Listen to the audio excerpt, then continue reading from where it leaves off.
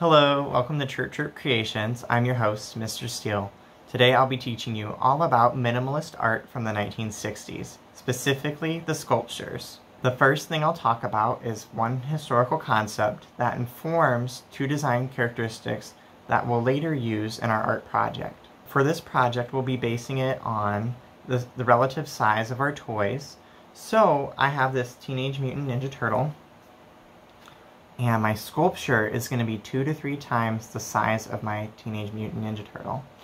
And we'll be able to use reusable objects found in our recycling bins throughout our homes.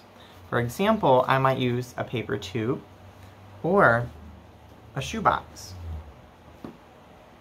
I can't wait to teach you this lesson. So go ahead and keep watching and make some art.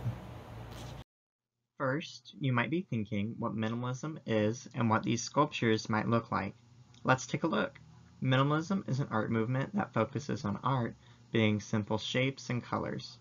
Minimalist art does not try to imitate reality, like when you would try to draw a house or a plant. Instead, they use geometric shapes like you can see on the current sculptures on the screen, like squares, circles, and triangles. This is because the artist wanted the viewer, you, to respond to the art's color, medium, and size. How would you feel walking up to something so huge that it makes you feel small? It's kind of like when you look out at, out of your window and you see a huge tree outside your house. Well, imagine instead of that tree, it's a huge cube, like one of Sol LeWitt's cubes. I think that would be crazy to see inside of an art gallery. Check out this leaning sculpture. It looks like it could be tipping over onto that lady any moment. It's made by Richard Serra and is called TTI London. Okay, so we know these sculptures were large and filled rooms that people would walk into, like an art gallery. But what compelled these artists to make large sculptures made out of geometric shapes? Well, have you or your siblings or friends done something that made you mad?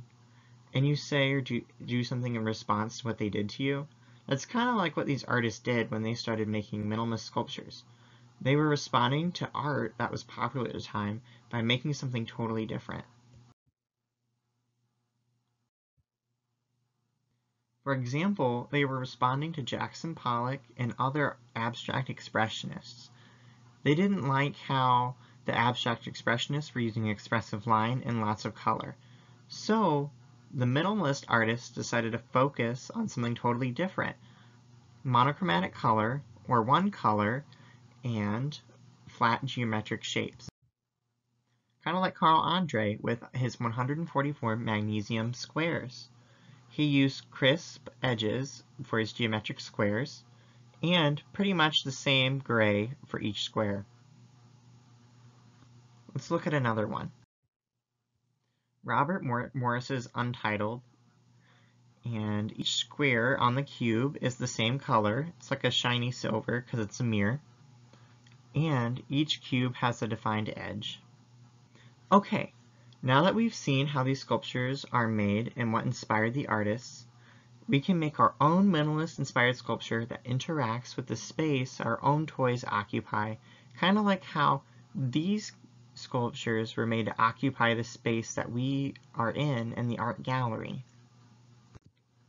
This means that when you're done making your sculpture, your toy can interact with the sculpture kind of like how we would in real life. In the beginning of this video, I showed you this paper tube I had. Now, in order to get that monochromatic color, I decided to use some purple paper that I had in my bedroom. And I have some masking tape, but you can use scotch tape, glue, whatever you have on hand. I'm going to do the paper long way, like long, the long way. That way it can cover the whole tube of, of the paper towel. I'm going to match it up on the end, and I'm just going to tape it down the middle.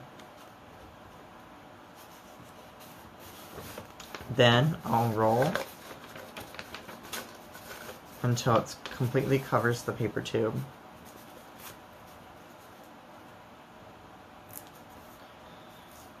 Now, if you don't have construction paper, you can always take lined paper, drawing paper, or computer paper and color it one color with a crayon, marker, whatever you have. Okay. I think I'm going to tape it two more times on each end. Okay, so I just taped this corner into the tube, and then I have more paper coming off the edge, so I'm just going to poke it inside. I'm just doing this to save tape. I saw this shoebox and I thought it might be pretty fun to cover in paper. Okay, I just started to tape the first side on for you. And then I think I'm going to put one on the top.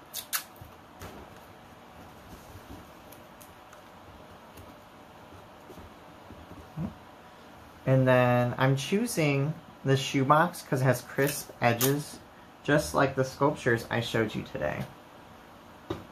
And then the shoebox bends a little bit, so I'm just to tape it over the crease. Yeah.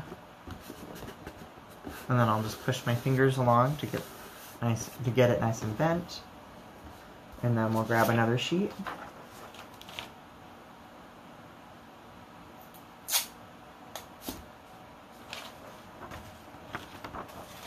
Get the tape on there.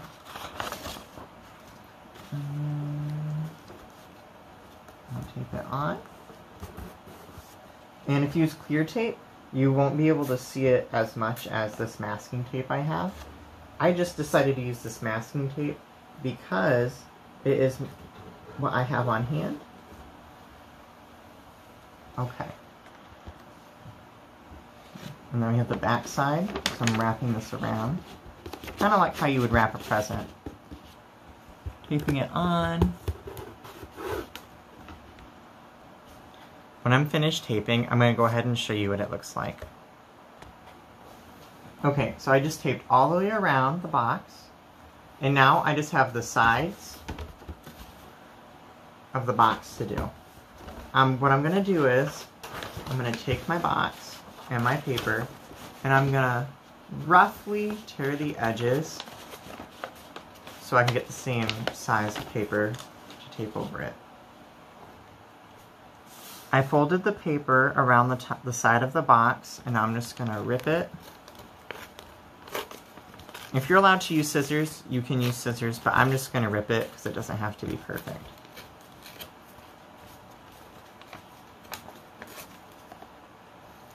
After ripping it, I put four pieces of tape around the edges, so I could just go ahead and plop on this to the side.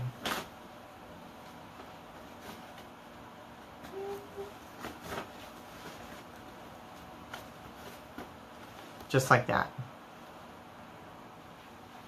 Okay, I just taped all around the sides of the box and the top.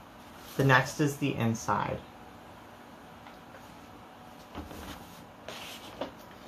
I'm going to show you how to make a circle ring for tape. So you can just go ahead and put it on the back of your paper, just like that. Go ahead and take your tape, pull on it, get a size about a couple inches. And then you just take it, see how it's already curling up, finish the curl. Just like that. And you have a circle. So, I'm having you do it like that. That way, you can just press the paper right into the inside of the box. Boom! We're already have a purple geometric cube going on for this sculpture. I'll show you when the rest of the box is done. Some of the sculptures we looked at today had pieces that were leaning. I think I'm going to do that too with those cylinders I wrapped earlier. I'm going to put some tape on the bottom and then I'm just going to tape it to the box. And you don't have to tape it.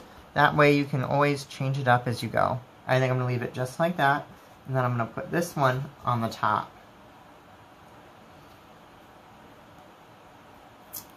And then I'll show you what it looks like right next to my Teenage Mutant Ninja Turtle. Wow! It is life-size! Look at him! Just like in the sculptures we saw before, our min the minimalist sculpture I made is larger than my toy. It is made out of monochromatic color, like the purple, and it uses geometric shapes, and it is not representing anything in real life. I can't wait to see what you make with your sculpture.